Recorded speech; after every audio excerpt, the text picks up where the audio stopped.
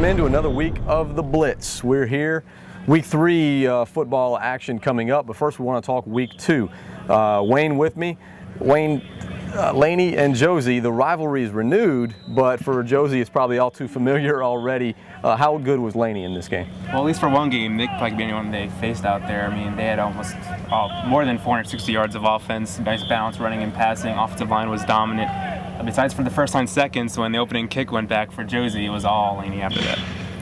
Well, Josey and Laney uh, obviously get off to uh, the rivalry renewed again. In South Carolina, it was Midland Valley South Aiken. That was a great game. Went down to the uh, final minute. Midland Valley pulls it out. South Aiken down by one. They score a touchdown to be to be down by one, and then go for two instead of uh, kicking the field goal. Tough decision for any coach to make, uh, and Coach Jeremy West said he would do it again, but didn't work out. Midland Valley wins that one by one.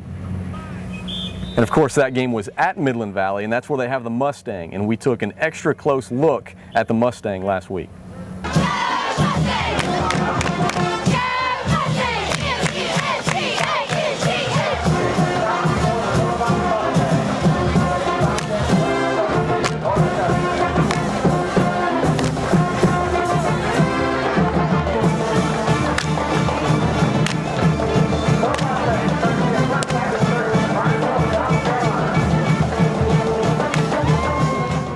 We're bringing in Chris Gay now to talk Richmond Academy Greenbrier. Chris, you were at this game. Tell us all about it. I'll tell you, uh, Greenbrier got off to a fast start, unlike they did the previous game where they had to come back and win. Uh, the Scott Reeder kid for Greenbrier was uh, passing well. Actually, he had a really good game, threw a couple of touchdown passes, one right before halftime that put Greenbrier up, and fired up ARC. Uh, Chris Hughes challenged his team at intermission, and uh, the Musketeers responded in a big way in the second half. You're watching the Blitz. Check out the Blitz this week. I'll be watching. Blitz all day long. Watching it all day long.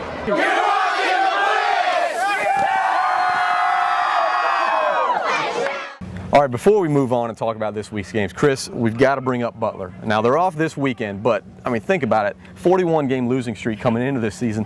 All of a sudden, they're 2 0. And who's got the best defense in the area? Who hasn't given up a point yet? Butler. Can you believe that? Oh no, no, no, not whatsoever. I mean, they've gone. They're not Cinderella. They're world beaters for goodness sakes. I mean, this team beat a ranked Twiggs County team last week. Granted, it's Class A, but still, it's a fantastic program. Uh, you know, they've won both their games on the road.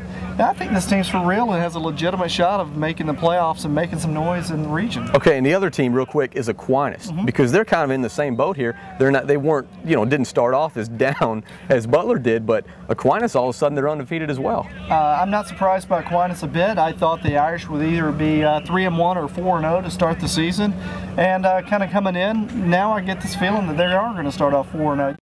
The sports staff of the Augusta Chronicle and WRDW News 12 are your competition. Beat their high school football predictions, and you are in the running for a Beat the Pros t shirt. Complete rules and ballot are in the Augusta Chronicle on Sunday or vote online at AugustaChronicle.com. Beat the Pros. Win a t shirt.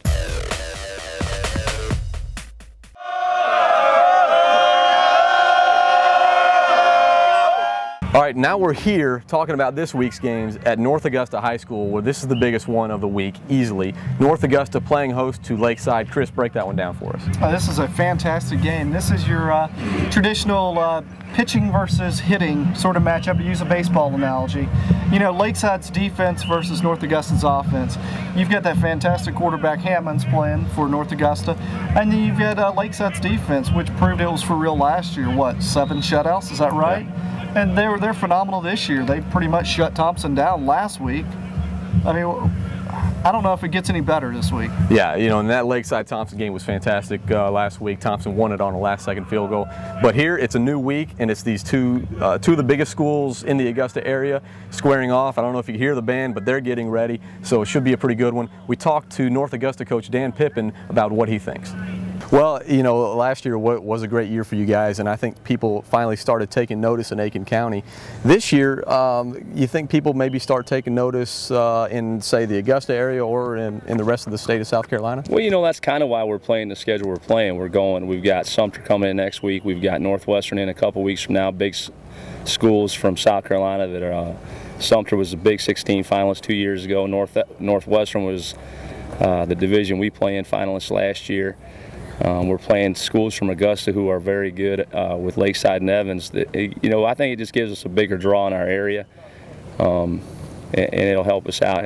I'm also the athletic director, so I got to worry about the gate, and you know, I got to balance that out with trying to find teams that we can be competitive with. And I'm, you know, I'm not sure that Lakeside and Evans are teams like that, but you know, we're going to give it our best shot.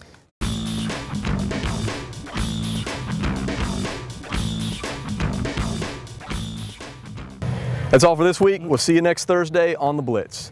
But before we go, uh, guys, last week you remember how we ended the show and I, Chris, I told you to go deep and you went all the way to Channel 12 Studios and Kevin Feigl, he didn't like that very much. So I don't want to get in trouble again.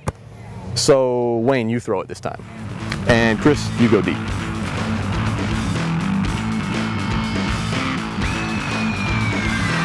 Welcome into Operation Football Live. I'm Kevin Feigl. It's week two. Holy cow, you rifled that one. Welcome into Operation Football Live. I'm Kevin Feigl. It's week two of the high school football season.